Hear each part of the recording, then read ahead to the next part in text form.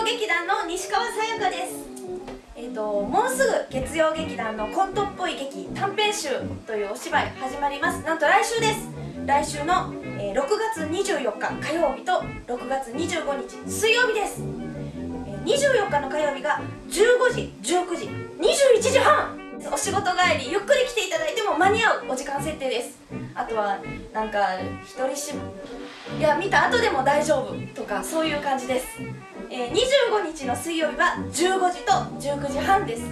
えー、と15時の回が、えーこちら両日とも1600円というチケット料金でとってもお得です。別に中身は夜もお昼も一緒なんですけれども学生さんなどにもしかしたら来ていただけるんじゃないかなと思ってそういう設定にしてみました。あの月曜劇団初チャレンジというお客様にぜひ来ていただきたいです。えっ、とやってる中身はタイトル通りコントっぽい劇